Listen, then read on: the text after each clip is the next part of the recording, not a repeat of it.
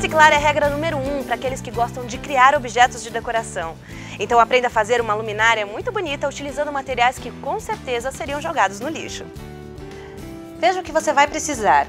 Cano de PVC, tinta spray, molde do desenho que escolher, bocal, tomada e fio de luz, lâmpada, parafusos, parafusadeira, pedaço de madeira redondo do tamanho do cano, furadeira.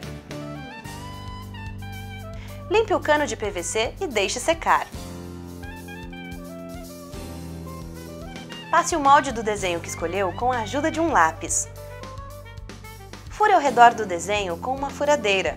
Os furos devem estar bem próximos. Pinte o cano já furado com a tinta em spray. Use duas demãos de tinta. No pedaço de madeira, fixe o bocal com a tomada, o fio e a lâmpada.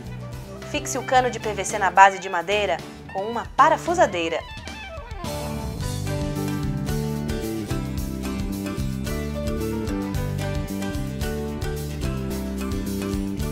Pronto, você acaba de fazer uma luminária linda. Fique atento a mais dicas de reutilização aqui com a Dutra Máquinas.